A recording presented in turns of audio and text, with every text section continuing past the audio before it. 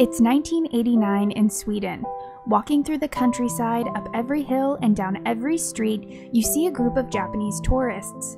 They appear to all be in their 40s and 50s, wearing hats with brims, sporting large packs, and curiously, all carrying binoculars and sketchbooks. They stop often to take diligent notes and sketch the architecture as well as taking pictures with their large cameras with neck straps. This group is none other than Hayao Miyazaki and the Studio Ghibli team, and they were on a very important research trip for their new upcoming film, Kiki's Delivery Service. Often regarded as a simple story about a girl and her cat, Kiki's Delivery Service is much more than that. It's a nuanced story about the struggles of adolescence, freedom versus dependence, and the complexities of our ever changing world. Today, I would like to explore these themes and the differences of how they're portrayed in the book and the movie. Join me as we unpack the magic of Kiki's Delivery Service. Kiki's Delivery Service was a children's novel written in 1985 by a woman with a striking bob with bangs and signature wide rimmed red glasses, an eccentric looking Japanese writer named Eiko Kadono. Kadono wrote the book for her daughter. She was inspired by a drawing she found one day on her daughter's desk of a witch riding a broom with a black cat while listening to a portable radio. The juxtaposition of a witch with magical flying powers, but the ordinary human quality of listening to the radio gave her the idea for a story about a more relatable witch, one who could only fly. She couldn't cast spells, make potions, or turn anyone into a frog. Instead, she would be faced with the same challenges and struggles every other ordinary person faces, with no easy way out. She would have to rely on the very human qualities of creativity, perseverance, and problem solving to succeed in life. Furthermore, Kadono wanted to dedicate this story to her daughter, who was 12 years old at the time, so she made the protagonist of the adventure a similar aged girl, and just like that, the premise for Kiki's delivery service was born. After the novel's success, just five years later, the story would be adapted to film by the prestigious Studio Ghibli with director Hayao Miyazaki at the helm. Kadono's intention with this book is made clear in the foreword as well as many interviews she's done over the years covering her most famous piece of work.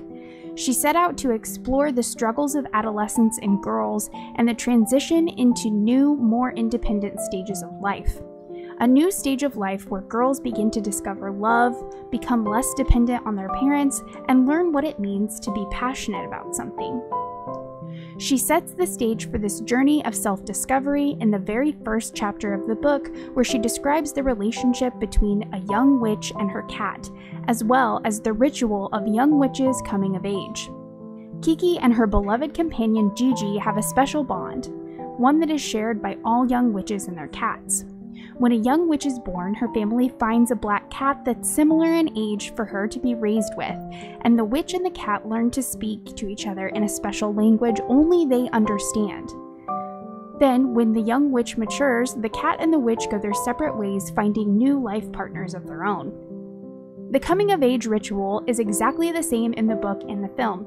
The young witch must travel to a new city that does not have a witch living in it, and live there on her own for a year, relying on her own talents and skills to get by, and her trusty cat companion, of course.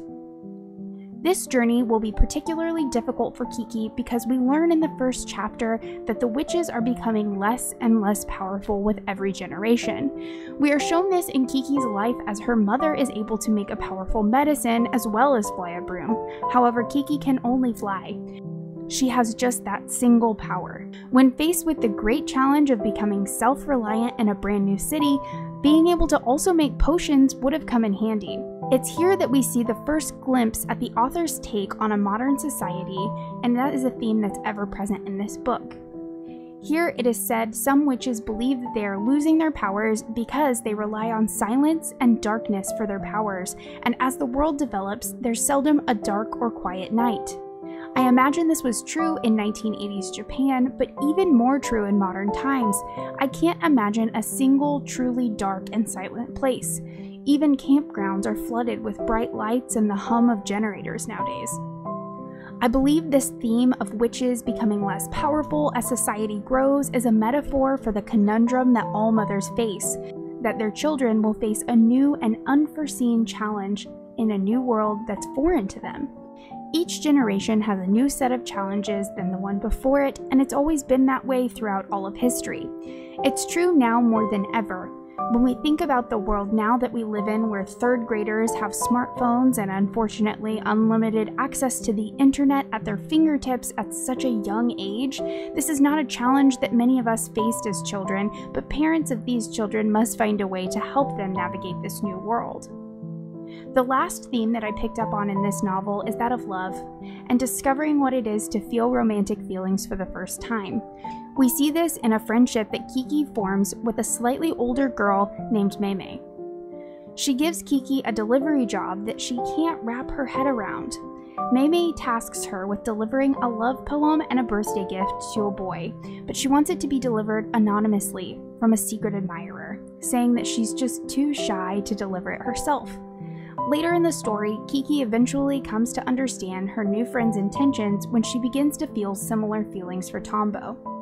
The novel explores the blossoming romantic feelings of an adolescent and the confusing nature of the whole experience, as well as the excitement. When approached to adapt Kiki's delivery service into film, Kadono's initial reaction was no. However, her daughter, the very same one that she dedicated the story to, was insistent that she go through with it because she was a fan of anime and thought it would be cool. There are rumors that when given a first look at the script of the film, Kadono almost halted production due to her disagreement with the liberties taken by Studio Ghibli. I'm not sure if that's true, but I do know for certain that she has a positive view of the movie now saying in interviews that she has accepted that the film is Miyazaki's work, not hers. She went on to say that film and animation are such different mediums than print, so that she's accepted that although their work is inspired by hers, it will ultimately be a new and altogether different piece of art. I am sure that in retrospect, Kadono is glad that she went forward with allowing the film adaptation due to the fact that Kiki's delivery service has become so culturally significant in Japan.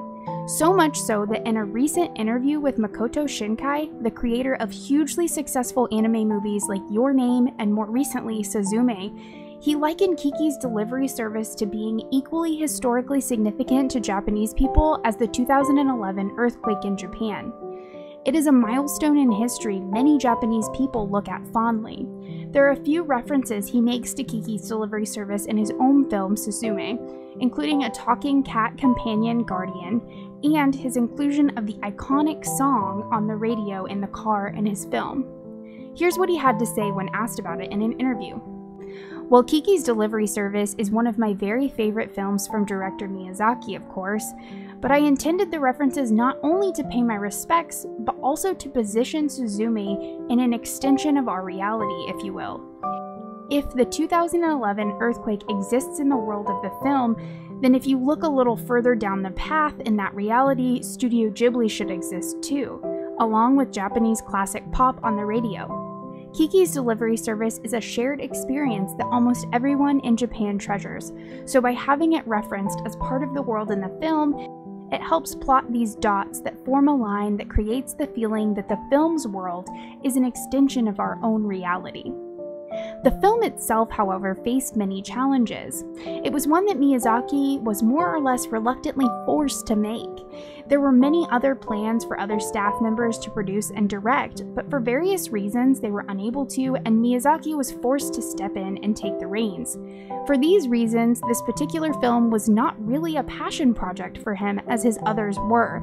His feelings for the film are reflected in this quote Even back then, I realized that just like the 80s, Kiki was sincere but somewhat lacking energy. For various reasons, it was a movie I had to make. Commercially, it was a success, but it left me with a personal sense of regret. Some people may not enjoy this opinion, but I can feel this when I watch Kiki's delivery service. It doesn't have the same spirit and spark that some of his other films possess. It may be for this reason that it seems to be difficult to find many instances of Miyazaki talking about Kiki's delivery service in interviews. Hayao Miyazaki has a reputation for taking great liberties when adapting books to film. as I covered in my Howl's Moving Castle video, which you should watch after this one. This story is no exception. He made many changes, but some changes seem to have been made to further his own opinions and expression. The biggest and most immediately noticeable difference between the book and the movie is the tone. The tone of the movie is oftentimes melancholy and downtrodden, however, the tone remains ever upbeat and hopeful in the book.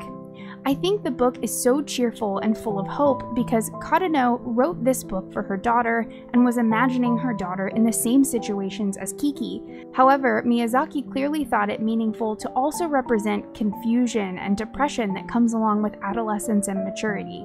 An explanation for this change in tone can be found in a foreword for an English translation of Kiki's delivery service written by Miyazaki, in which he says, in the original, Kiki solves difficult problems with her naturally good heart. At the same time, her circle of allies increases. In filming this, we had to make a few changes. The process of her developing her talent is surely pleasant, but the spirit of our young girls living in the capital today is not so simple. The biggest problem for many girls is the fight to break through the barrier of independence, and there are too many people who feel like they have not received a single blessing.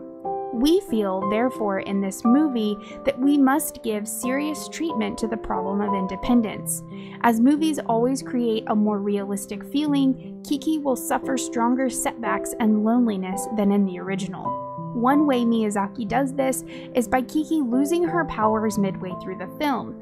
In the book, Kiki's broom becomes broken and she must learn to make a new one on her own, but she never loses the ability to fly or speak to Jiji. I think these choices were made in the film to show, in greater dramatic detail, the struggles of gaining independence. I also believe that Miyazaki used his experience as a metaphor for the life of a creative. We see this comparison in the scene with Kiki's new artist friend, when she describes the challenges she faces as an artist and how she overcomes them. Miyazaki has said himself in interviews that he finds it important to take time for relaxation, as well as the importance of trying new things to gain a fresh perspective on his work and maintain the spark to keep creating work that he's proud of. In the film, he likens the artist's spirit to the witch's spirit. Here's an example of this philosophy. He wanted to see what he sees every day on his drive to work to get a new perspective of ordinary scenery. So he fastened a video camera to the passenger side headrest to film his daily commute and gain a fresh perspective. Another large divergence from the source material is when Miyazaki made the choice for Kiki to lose her ability to speak to Jiji. This also lends to a more melancholy feel as we, the audience, grieve the relationship and funny dynamic between the girl and her beloved cat.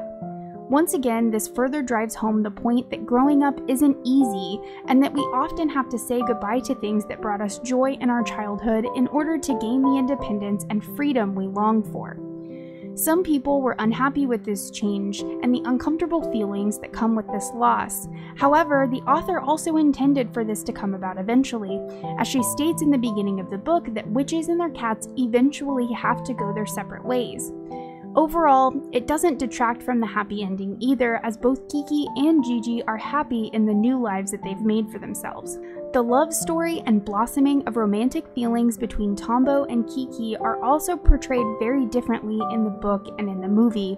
Personally, I believe these differences are due to the vastly different ways that men and women perceive this time of life.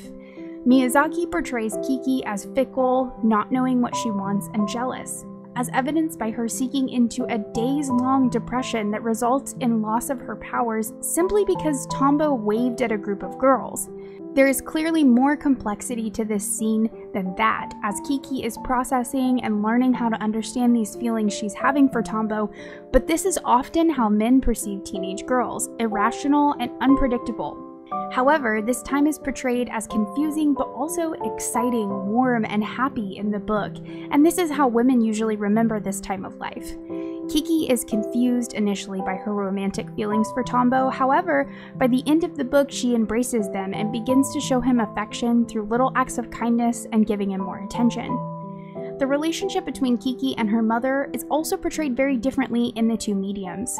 I think the difference here is because the book was written by a mother, so the mother daughter relationship is written in a very hopeful way, with Kiki longing to go back home. In the book, when Kiki finishes her year long ritual, she does get to come back home and visit her mother, and it's a warm and joyous occasion. This is how all mothers would hope to be treated by their teenage daughters. However, Miyazaki took a much more realistic approach to the mother daughter relationship. He portrays the relationship as more strained and cold, with the mother not quite understanding Kiki's behaviors and intentions. One more difference I find to be significant, but may to an outsider appear to be a small change done for aesthetics, but I think there's a huge message hidden in here.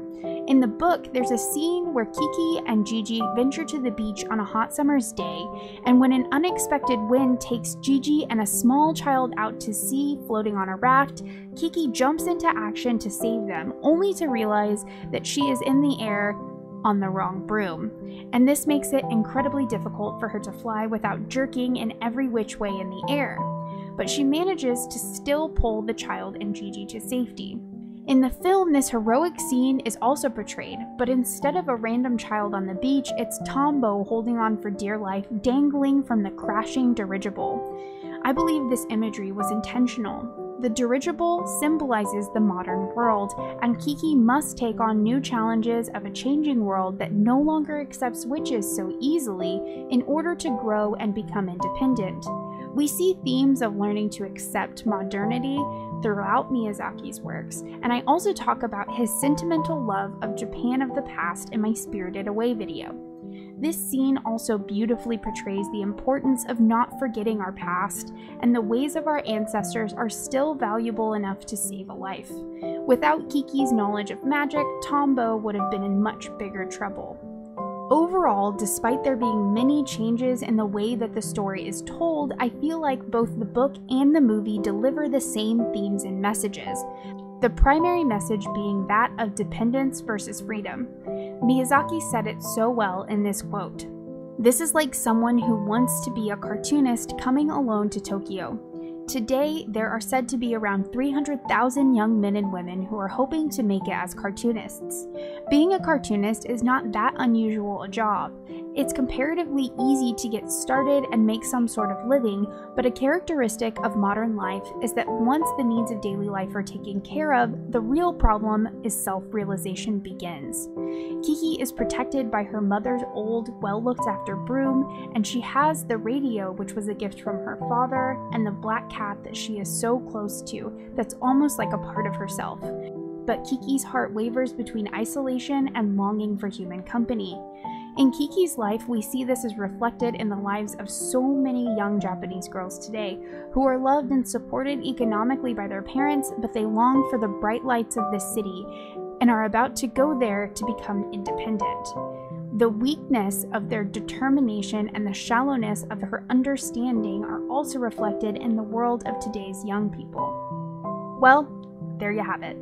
A deep look into the themes of Kiki's delivery service and how the messages were conveyed differently in the book and the film. If you made it this far in the video, I really appreciate your time and I hope you do something today that makes you happy. See you later. Bye!